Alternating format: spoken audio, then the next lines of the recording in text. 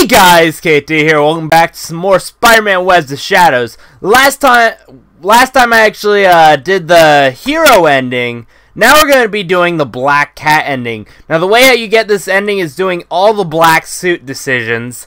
And yeah, I'm going to do the black suit decision here because uh, we haven't seen it yet. So let's see uh, what happens. So yeah.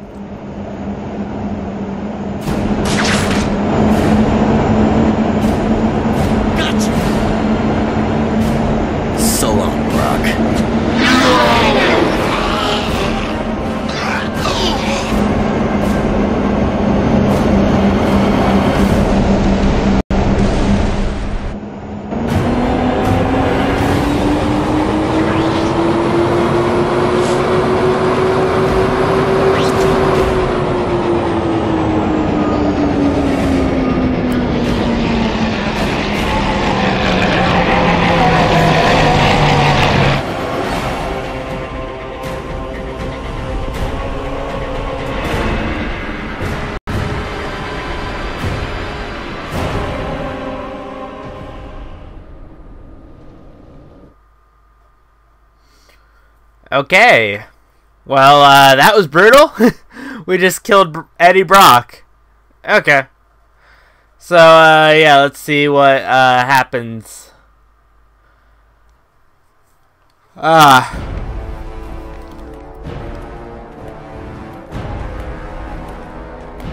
Well, darling, I promised you this city, and it's yours. What do you desire? We await your commands, sir.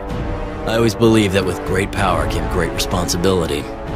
And now, I never knew what power was.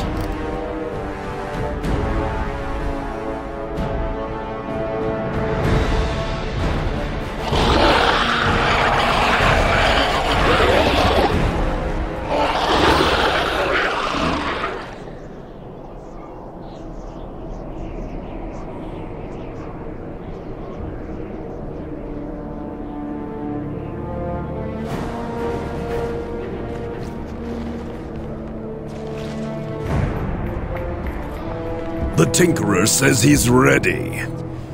And our delivery boy. Here he comes.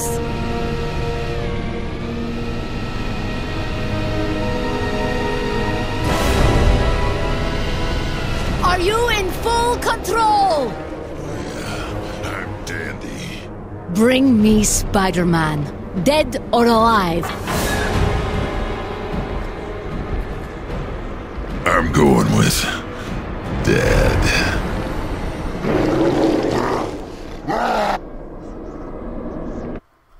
Okay, so basically, uh, we took over the symbiote since Brock was dead, and because the black suit side actually throws Tinker's toy off the building, destroying it.